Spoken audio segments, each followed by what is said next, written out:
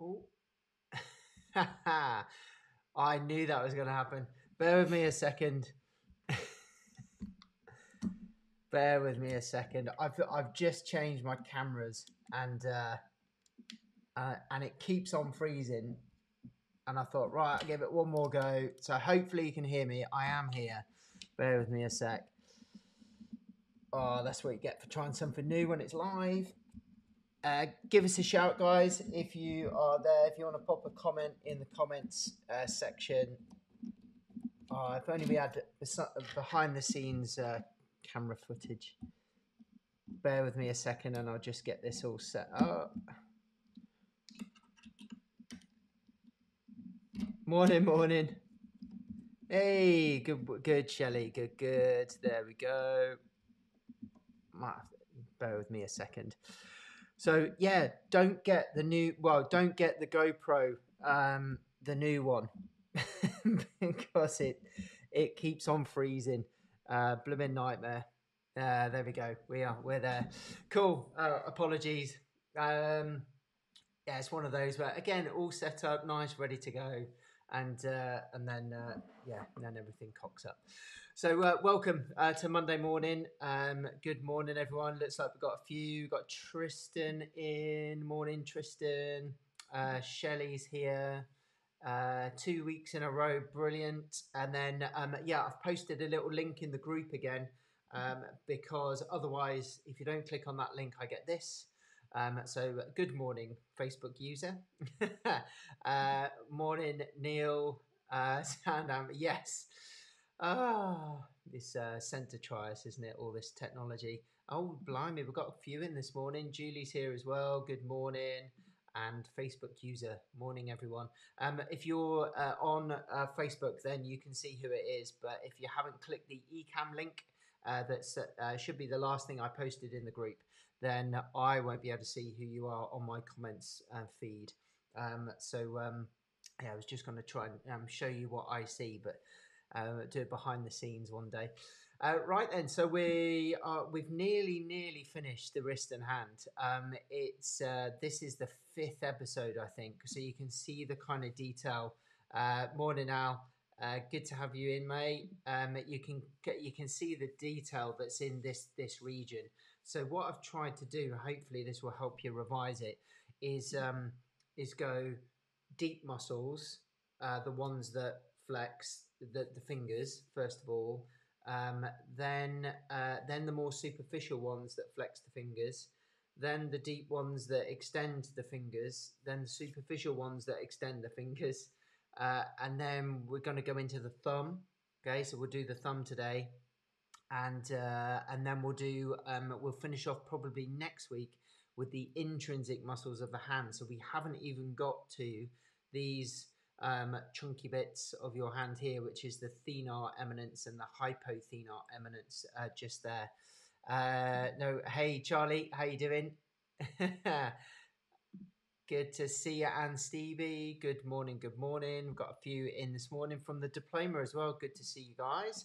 Um, cool. So yeah, we're um, uh, going to finish off all of the flexors and extensors for the for the thumb um, and the last few extensors of the of the wrist as well. And before we do that, we'll do a very quick recap. I'll just uh, bring this up here.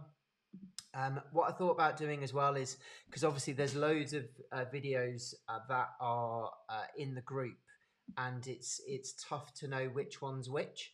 So I'm going to put this um, this rolling um, scrolling ticker thing across the bottom. So when you're looking at all the videos and you see them all, then you can see which episode it is. So it's only taken me to episode 43 to think of that. Um, but we're going to do that now. And blimey, we are blessed this morning. Uh, Dan is here. Good morning, Dan. Good to see you, mate. Um, cool. So um, let's have a bit of a recap then. So we, we, we, we were looking at last week the compartments of the wrist. So if this is your first session for a while and you're thinking, what the heck is he on about? Is because we covered this over the last couple of weeks. Um, so we've got um, uh, th- this area here of the wrist is split into six different uh, compartments. Um, it's turning into a bit of a social. Uh, Steve, asked who's going in, uh, who's going to Therapy Expo in November. Um, me, I'll be there. Yeah, definitely. Yeah. I know. Can you believe it? Dan Dan Williams in the group. There we go. Um, so um, yeah, if if you've not heard of Therapy Expo before, thanks for mentioning that, Stevie. Actually, it's uh, uh, it's the the first face to face conference, I think, in the in the therapy calendar um, for nearly two years. So, uh, so if you can make it, it'd be great. Um, I'm going to be involved in the Sports Therapy Association uh, lecture theatre and with RockTape as well. So I'll be there um, for, with those guys too. Um, oh, it looks like a few of you are going good. So it's, it's a good a good chance to get together and, and see each other. And uh, you go, oh, I didn't realise you were that short when you meet me. Uh, so uh, yeah, it'll be um, it should be a good uh, good session um, and that lots of good lots of good speakers there. Oh, good, Michelle. Good, first time going. Brilliant. You'll have a great time. Um, there are loads and loads of lecture theatres. Well, usually, hopefully, it will be um, similar, uh, similar this time as well. And um, uh, yeah, just loads of stuff going on. Meet loads of people. That'd be really good. And uh, yeah, hopefully, I'll see a few of you there. Um, right. So back to the wrist. So if you, um, let's have a look. So th- this is as if you're looking at your right wrist, kind of fingers on. Okay, so that's what this image is. Uh, this is, image is here. So on the left-hand side of this image is the ulna. So that's on the little finger side of your, if you were looking at the end of your right right hand. And then the radius is on the thumb side. Okay, so going from the thumb side all the way across, we've got six compartments of the wrist, and we've we've had a look at a few of them and um, we're going to add on the others now. So I'm just going to do a bit of a recap first. So in this middle kind of section here, so right in the center of the wrist, that's where your um, extensor, uh, let's grab my uh, extensor digitorum is. Let me just grab my arrow. There we go. Okay, so EDC is extensor digitorum communis, it's sometimes called, or extensor digitorum and um, uh, I can't remember what the P is actually on the extensor indicis. Might be profundus. I'm not. I'm not sure. But this is the extensor indicis. Okay, so EI extensor indicis is your index finger. So it extends your index finger.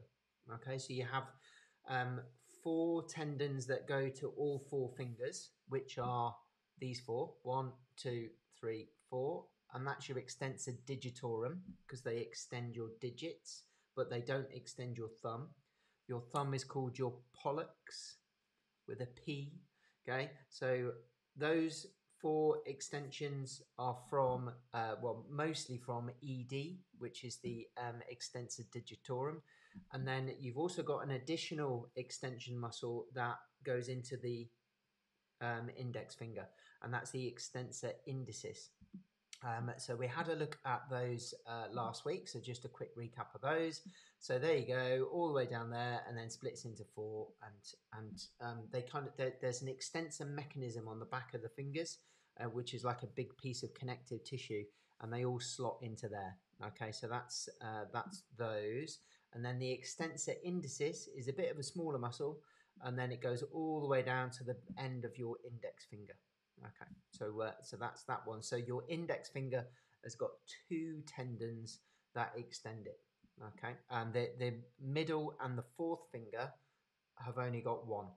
All right, so that's got two, and then you might have seen my. Um, uh, I wonder if I put it on this one. Actually, I think I did. So we've got um, then the next compartment along is extensor digiti minimi.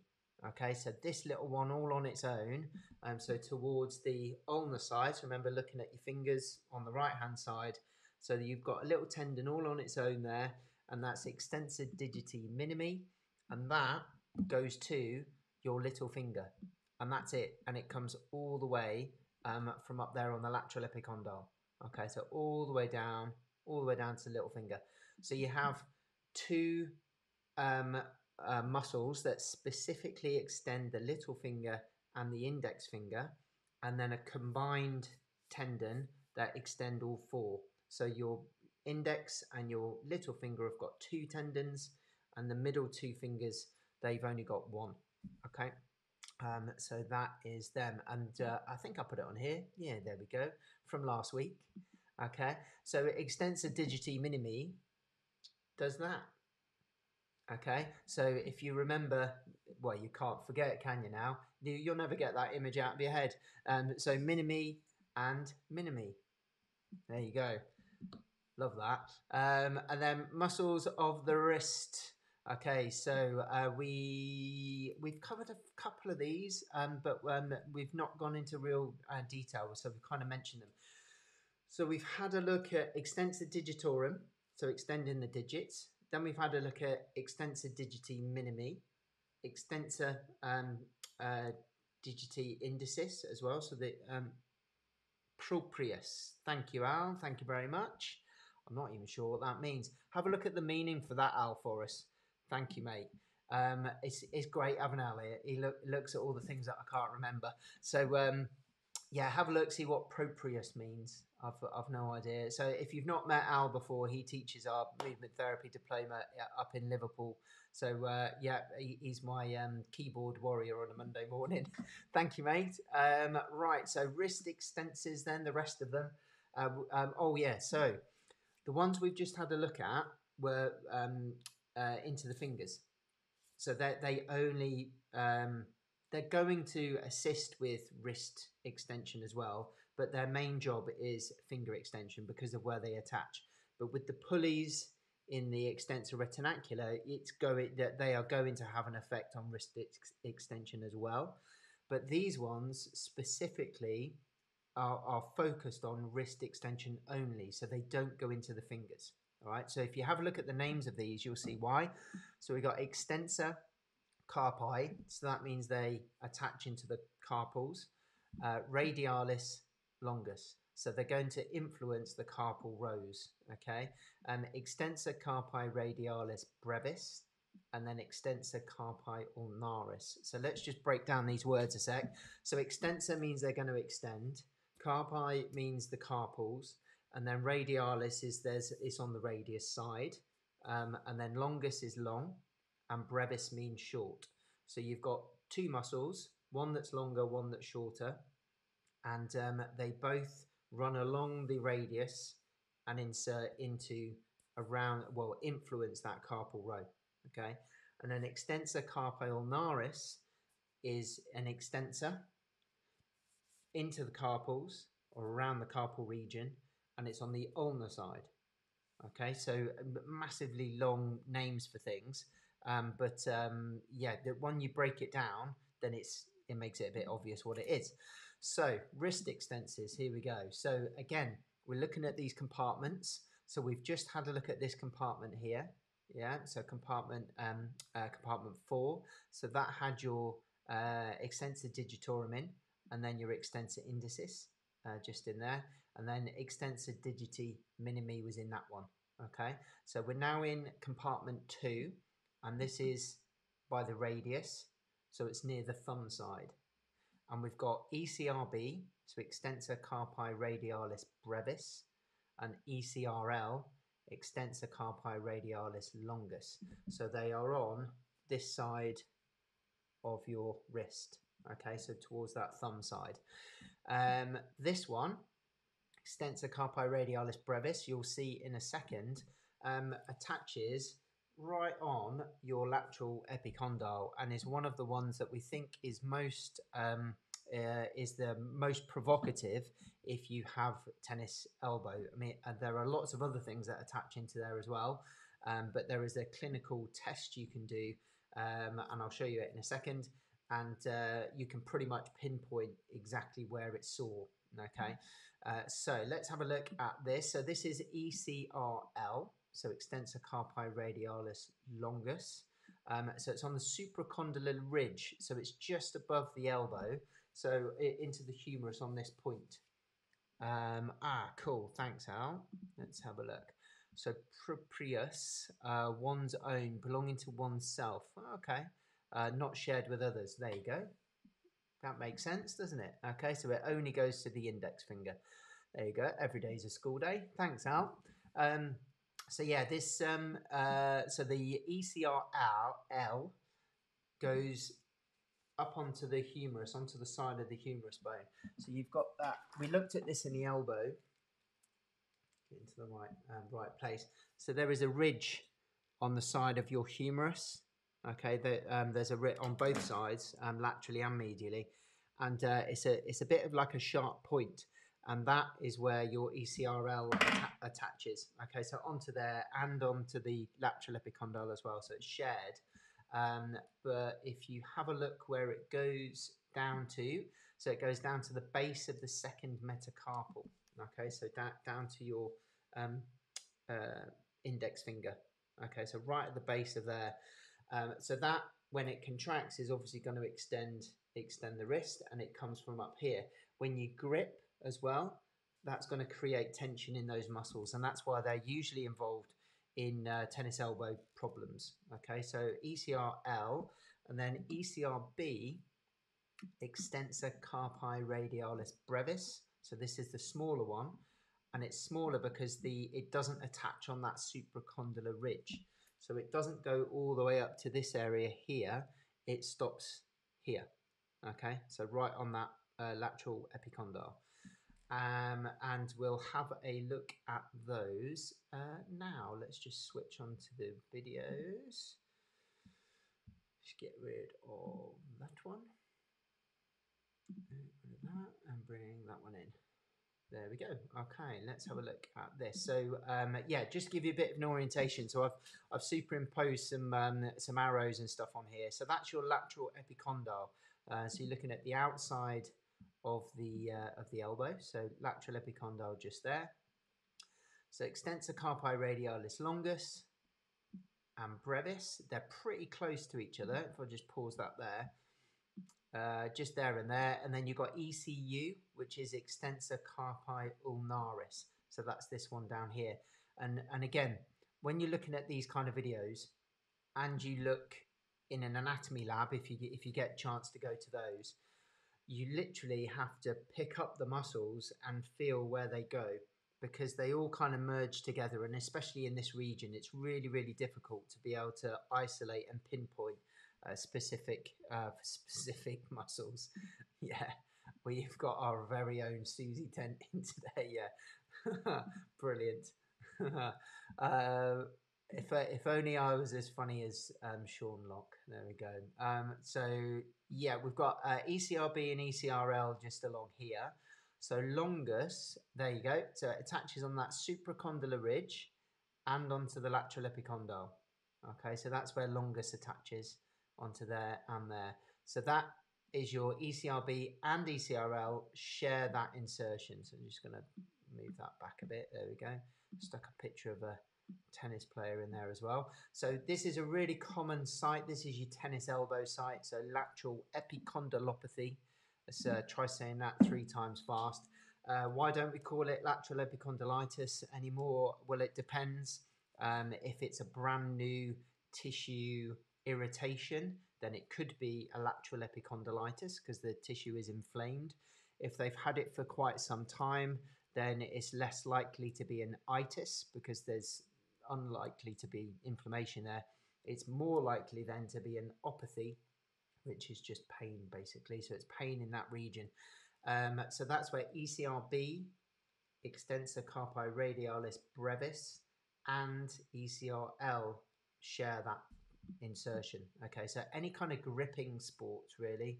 Um, we get it a lot with bodybuilders as well, um, gripping onto dumbbells, rows, that that kind of thing. Um, so uh, yeah, um, it's a, a common uh, common place where people have issues. So let's have a look at those. So that that's the common extensor tendon. So they both kind of go into the same tendon, and then that tendon just kind of is really broad over that um, joint line. And then down here, just pause that there. This is the attachment for the extensor carpi ulnaris. So this, this has got a really, really long origin on the ulna. Uh, so a really broad origin. Um, whenever muscles have got a really broad origin like that, you know that they can generate a lot of force, right? Um, but just because of the amount of contact they have with the bone. Um, so that's ECU. Haven't looked at that one yet, so we, we will in a sec. And this here, I'll just pause that there. This is the extensor retinacular.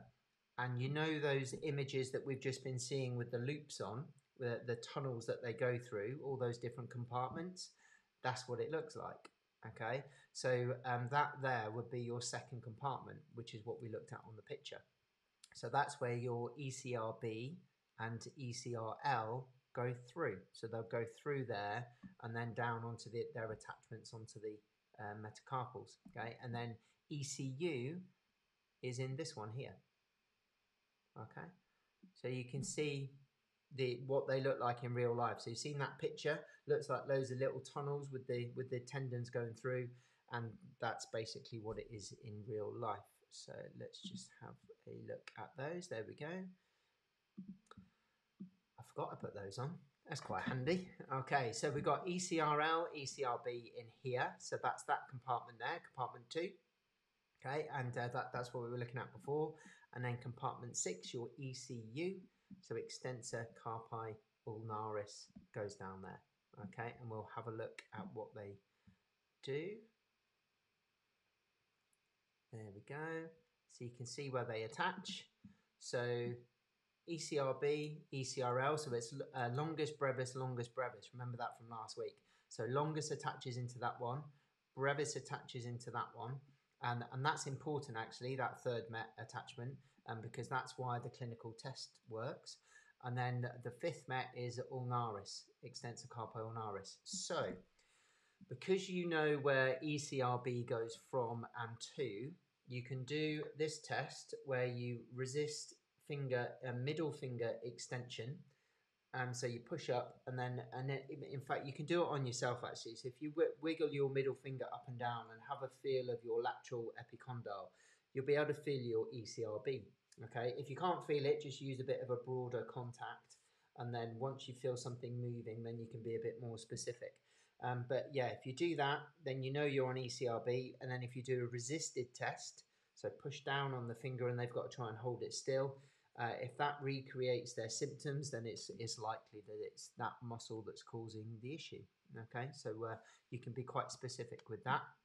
And then uh, ECU, extensor carpi ulnaris, uh, that's on the fifth met. So that's going to bring about some ulnar deviation as well as extension of the wrist. Okay, depends on um, how many of the muscles are activating at the same time. Cool. I think that is it for that one. Yeah, perfect. So let's just go back to the um, PowerPoint a sec. So uh, we had uh, Brevis, and then we were, and we've just looked at ECU. So this is the sixth compartment on this on the edge there. Uh, this is on the ulna. Okay, so um, when you um, in fact, you, you can palpate this one. So if you ulnar deviate your wrist, you'll feel a tendon really poke out as you as you go into that ulnar deviation, and and that's your um, ECU. Um, you can feel it just there, and it goes it goes all the way down onto the um, onto that fifth met. Uh, cool, and there you go. Yeah, so lateral epicondyle via, via the common extensor tendon plus the ulnar border, which we saw that long border, and then down into the base of the fifth. So it, it will extend and ulnar deviate the wrist. And it makes sense because of where it attaches. If that shortens, it's going to bring your wrist that way and that way. Okay, all on its own. Hi, Emmy. Good to have you. Don't worry. Um, yeah, you just um, missed our little um, uh, episode of uh, Countdown earlier. Uh, cool. So that is the um, most of the extensor compartments. There's still some more to go. Okay, so there are six compartments altogether, and the last compartment, compartment one, is on the thumb side. Okay, and these are the uh, the muscles that extend and abduct the um, the thumb. Okay, so let's have a look at these. Um, again, we'll break down the words. So we've got flexor, so that's going to flex the thumb, obviously. Pollicis, which is the name for your thumb. So the, the thumb name is, is pollex, and um, your big toe is a hallux. So if, um, remember, they've got their own uh, specific names. We've got a longus, which is pretty long, and we've got a brevis, which is the short one. Okay, so we've got um, three long um, thumb muscles and then one short one. All right, and these are the long. I've called these long muscles of the thumb because they're not intrinsic muscles in the hand. They come from the forearm and influence thumb movements. So they're coming from they're coming from around here. Okay, so let's have a look at those. So your thumb flexor, uh, this is is really broad uh, broad muscle uh, just here. And in fact, I'm gonna have to move that one, get rid of that. There you go, and you can see it come all the way down to the end of the thumb. Yeah, so um, that thumb flexor is the only um, long flexor of your thumb. Okay, you've got some other intrinsic muscles that help bring about uh, flexion and, and some other movements, um, but that's the that's the only long flexor on your thumb. Okay, so it's anterior surface of the radius and from the interosseous membrane, which is the bit in between your ulna and radius. So we'll have a look at that. Attaches on the distal phalanx, so it's the last bone on your thumb, okay, and it will flex your thumb. That's basically what it does. We'll have a look at the nerve supply over the next couple of weeks. Cool, so we've got two thumb extensors and one abductor. So let's have a look at those. These are involved in uh, this condition, um, well, it's a, a, picture of the region that has the condition, uh, called de Quervain's. Uh, de Quervain's tenosynovitis. So around your tendons, you have a tendon sheath, and that tendon sheath is full of fluid so that the tendon can um, can pass through it. Sometimes those areas can get irritated, so this the sheath starts to swell, and you can see um, see the fluid um, in the in the tendon sheath with the little tendon in the middle. The problem is there's nowhere for it to go because the uh, the tunnels, the extensor retinacular that they go through, um, they there's no give. So it's very similar to a carpal tunnel with the median nerve. Uh, these uh, tendons on, on the thumb, when they get irritated, there's nowhere for the swelling to go. So it then starts to irritate the tendon, and you can get really, really um, real bad soreness on the um, uh, on the thumb side of the wrist. Uh, let me just type it out for you because it's a weird um, spelling. It's two words. Uh, three words would right uh, to be more accurate. And that's what it's called. So it's called a de Quervain's, um, probably because someone called de Quervain came up with it initially, uh, tenosynovitis. So it's a inflammation of the synovial membrane around the tendon sheath. okay, so a tenosynovitis, and that and that's what um, it usually irritates this uh, this portion here. It can be excruciating if anybody's uh, ever had that before, and it, it, it, involves the muscles that we're going to look at now. Okay, so we've got um, uh, we've got abductor pollicis longus, so that will abduct your thumb. Okay, we've got extensor pollicis brevis. Okay, so that's going to extend your thumb. And then this one here that isn't labeled is going to be longus. So this is extensor pollicis longus. Okay, so if you remember when we were looking at the um, the compartments of the wrist, and I said the way to remember it was longus brevis, longus brevis, longus. Okay, here we go. Uh, where are we? This one here. So longus, which is the first one. Brevis, which is the second one. And then in between that one and that one, so that's compartment one. In compartment two, that's just there, you've got extensor carpi radialis longus, extensor carpi radialis brevis. So they're in between there, but they go in a different direction. And then longus again. Okay, so you've got longus, brevis, longus brevis, which aren't shown on this picture, but that's your ECRL, ECRB, longus. Okay. Told you the wrist was tough. Yeah.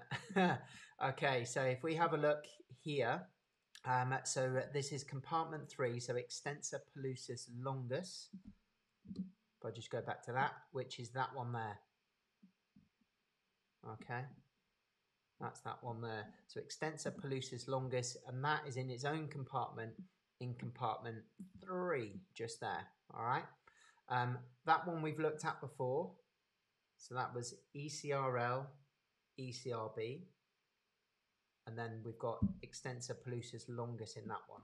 Okay, I'll try and recap as we go and, and do it again and again so it gets in your head. Um, that these are honestly, I've been doing this for like nearly 20 years, and I still have to do some revision on the wrist anatomy. Okay, it's um yeah ah there you go. Thanks, Susie. There you go. Fritz de Quervain died in 1940 and left us with a legacy of de Quervain's tenosynovitis. Thank you, Fritz. Um, brilliant. Thanks, Al. Appreciate that. Um, cool. So we yeah, that this is the longest, and you can see why it's called longest. Well, it goes the furthest, and it's a really really long muscle, and all of that, all of that muscle to extend your thumb. Okay. So again, it shows I think how um, important some areas of the body are when they've got a lot of muscles or big muscles that um, that do certain jobs. Cheers, mate. I appreciate that. Um, cool. And then here we are. So this is the uh, this is the first compartment, which is on the edge of your thumb. Okay. So we've got abductor pollicis longus, extensor pollicis brevis. So they, those were the ones that we saw on that main picture. If I just go back there, abductor pollicis longus, that one there, okay. Extensor pollicis brevis, that one just there, okay. And these you can see. So if you have a feel on the outside of your of your thumb and abduct abduct the thumb, you can feel the abductor tendon. And then if you extend the thumb, you can see the extensor tendon. I'll get in the right angle. I have to do it that way. There you go. Okay, so you can see the extensor and the abductor, and they form something called the anatomical snuff box, which in the olden days used to put a bit of snuff tobacco in there and sniff out of there. Okay, so that's the anatomical snuff box. Underneath there, we talked about this when we were looking at the bones, is the scaphoid bone. Okay, so again, this can be quite a sensitive area if someone's fallen. Uh, so, and we need to um, ascertain whether this is a, a, a, fracture of the scaphoid, they got something wrong there, or whether it's a tenosynovitis de Quervain's. Okay, so that's what the kind of things we would look for clinically um, in that region. They're quite common, uh, common problems to have. Um, cool. Right, let's go back to that one. Yeah, so that that's the um, the first compartment. So abductor pollicis longus, where you abduct the thumb, and then extensor pollicis brevis, which extends the thumb. Okay. Uh, there you go. There's abductor. Look at the size of that. It's massive. Okay, so proximal half, so the, the half that's nearest to your elbow. Yeah, so they, it attaches on, on half of the ulna and, and a third of the radius. That's huge. Yeah, so again, we can see how important that thumb is uh, to our body because we've got these massive muscles. Um, and if you think about the um, uh, the kind of movements um, that that they do, um, the the main muscles for the, the thumb moving into opposition and adduction are in the hand. They're the really short muscles. So the short muscles here um, there, there's a few of those as well that we need to cover. Okay, so that those are really, really powerful adductors. These ones here, we've got um, we've got two massive extensors of that of that thumb. Okay, um, really, really big muscles. So abductor pollicis longus, um, extensor pollicis brevis. Okay, so that's the short one, um, shorter one of the two, and it attaches onto the proximal phalanx of the thumb. So that's why it's brevis because it's shorter it attaches just onto the proximal phalanx, which is that one. That's the distal right on the end. Okay, so that's the proximal. Covered that way back in the first session. Okay, so um, uh, let's have a look at those. Bear with me a second. Uh, do, do, do, Okay, so this one, hopefully, get rid of that one. Here we go.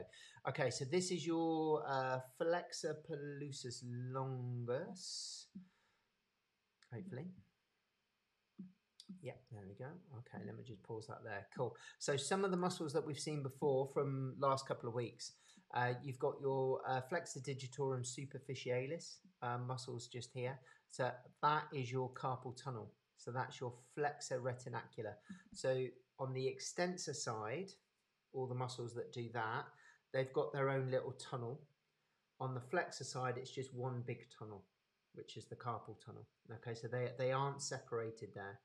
Um, but on the on the extensor side, we've got six separate little tunnels that all of those go through. Okay, um, and you can see that the flexor pollicis goes through that that tunnel as well. All right, let's have a look at that. So, yep, there's your flexor digitorum superficialis, moving that one out of the way. These That's your profundus, so the one that's deep to it. And then there, that massive muscle there, huge again.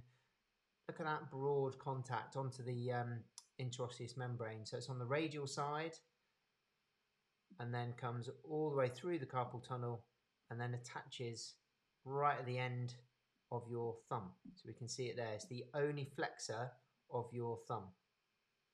So through that tendon sheath all the way to the end, and there's your distal phalanx attachment just there. So you can see when it gets pulled, it's going to bring your thumb in. Okay. So all of the others, can you see here? So we did this over the last couple of weeks. So that one there, and that one's going to be flexor digitorum superficialis because it's superficial. And then that one next to it, flexor digitorum profundus because it's profound so it's deep. Okay, so superficialis and profundus. So all of your fingers, finger flexors, you've got two. Finger, uh, thumb flexors, you've only got one. Okay, so that's those. Let's have a look at these. So this is on the other side now. Okay, so we're looking at the extensors and abductors of the thumb. So uh, now we're back onto the compartments in the extensor region. So compartment number one, abductor pollicis longus, extensor pollicis brevis. So remember longus brevis. And then the next one along is longus brevis again, but that's your ECRL, ECRB. And then we've got longus again, which attaches onto your thumb, extensor pollicis longus. And that's in compartment three. Okay, ready? Here we go. So extensor digitorum, take those away. Don't need those. Let's have a look underneath. So abductor pollicis longus. Again, look at the size of that muscle. These are quite huge. And then extensor pollicis brevis and longus there. So you can see how they separate and then go into their respective tunnels okay, around that extensor retinacular. That's your pollicis brevis. Again, a like a double um, contact. So you can see again how, how powerful that muscle is going to be. So hopefully we'll follow them through. Here we go. And then these will then go through. There you go. And this is where you get problems with, let me just go back. Just pause that in the right place.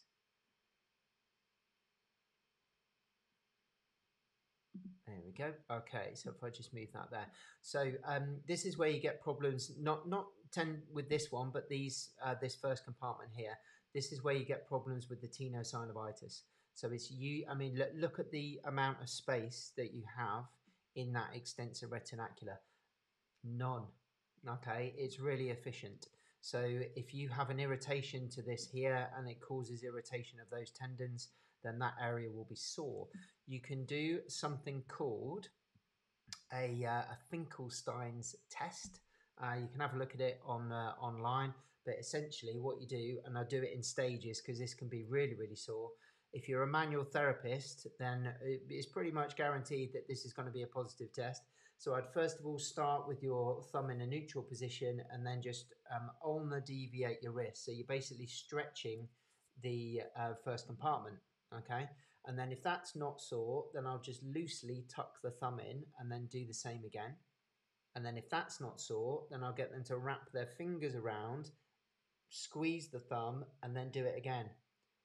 And if that's not sore, then I will do it. Okay, so I'll do it in all of those stages because that can be If you just grab it and do that, and that's the first test you do, they may hit the roof and punch you in the face. So um, you need to make sure that you do it in stages uh, to to see exactly where where the tenderness is. Okay, so um, yeah, that that can be quite sore that one. So extensor pollicis longus, and you can see it's a little bit further across from uh, from these uh, first two here. Okay, um, and that then travels all the way down to the end of your um, end of your thumb. In between that one and those two, that's where your ECRL and ECRB sit. Okay, so it goes longus brevis, longus brevis, ECRL, ECRB, longus. Okay. Keep on saying it. Keep on saying it.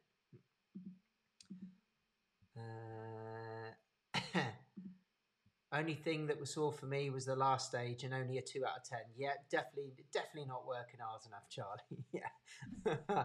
In fact, because um, you're a musician as well, so uh, I'd imagine that you, you your conditioning of those tendons will be really, really good. So you'll be able to tolerate that really well.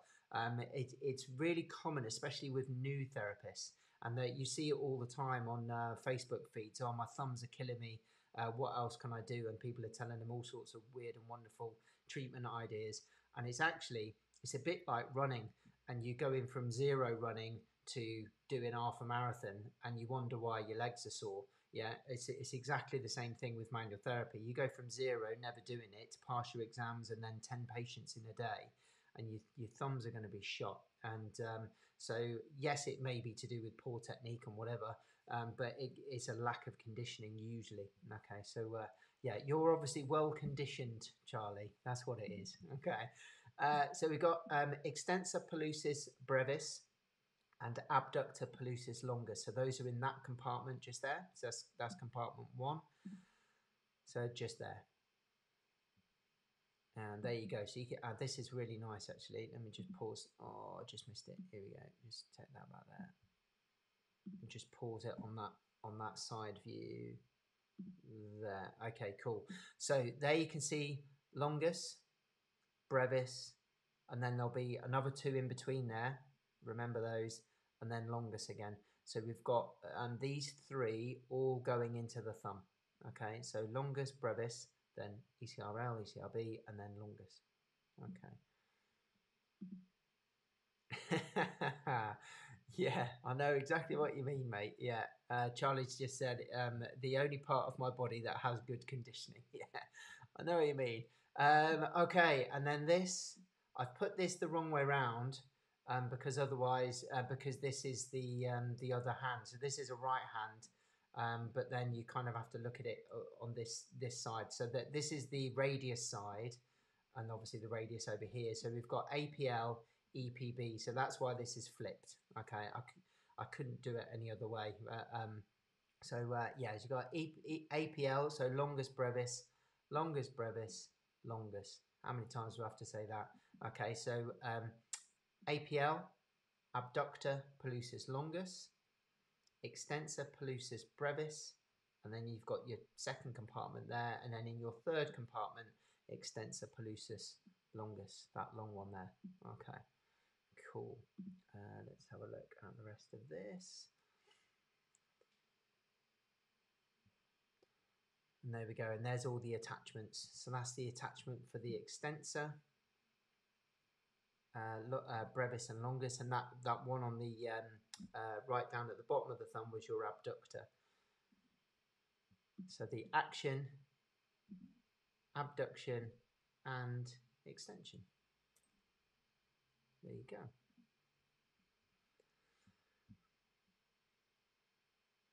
Cool. All done. Cool. Good. Uh, what time are we at? Oh, not bad timing either. Good. I, I wonder whether that might run over today. I'm glad it didn't. Yeah, um, I'm sorry there's a lot to cover. I mean, that was one, two, three, four, five muscles. Okay, so you can see the the intricacies around here. Um, the um, uh, that there was a question the other day. Eric Purvis um, put on online about um, do you need to know your anatomy?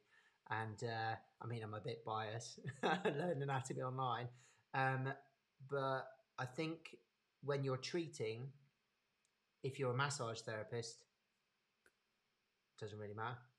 You don't really need to know it that in depth. If you're going into the more clinical world, definitely.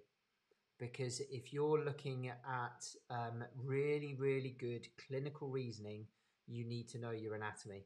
Because if you know that um, extensor pollicis longus goes to the end of the thumb, but then the brevis goes to the, um, the first phalanx, you know, if I do that and it's sore compared to doing that and it's sore, then you you know it's more likely to be um, well with that one you don't use brevis. So if that's sore then it has to be longus that's that's causing the symptoms. So you can be way more specific with your clinical reasoning when you know your anatomy. Yeah and you know the direction you, they go in. And we talked about that with the profundus and the superficialis in the fingers. You, you can identify where, where the problems are. So for manual therapy, I don't think um, it, it, matters too much um, because, like I say, with um, like massaging the forearms, you can't say, "Oh, I'm now on ECRB, I'm now on ECRL." It's really, really difficult. You can feel the tendons, but not the muscles. Um, but if I need to assess whether it's ECRB that's causing tennis elbow, I need to know that ECRB attaches at the base of this finger and then comes up to here on the lateral epicondyle. Because then when I wiggle that and it hurts, then it kind of eliminates most other things. So um, yeah, you I think for your assessments, I think anatomy is really important. Uh, but for general kind of massage uh, treatments, um, I I think you need to know anatomy, obviously, for um, knowing what you you are and aren't dealing with. Um, but um, it's not as important as when you go into those further levels where you have to clinically reason. Um, and then that also leads into rehab. So if you don't do rehab, then again, the, the need for anatomy knowledge is, is less. But if you do, and you want to do specific rehab for specific movements, targeting specific areas, then you, you need to know your stuff. So, um, uh, yeah, so that, there we go. Uh, I think it depends on the audience. So, uh, who would have thought that Learn Anatomy Online thinks that anatomy is important? Okay. uh, right then. Um, have a great uh, rest of the week, guys. Uh, th- some really good uh, participation today. We have got quite a few in the group, uh, which was really nice. If we can get those questions flowing, that would be great. So next week we're finish, hopefully finishing off the wrist and hands. We're going to look at the intrinsic muscles and then also the uh, blood and nerve supply for the hand and the wrist. Okay, cool. Cheers, guys. Have a good week. I'll see you next Monday.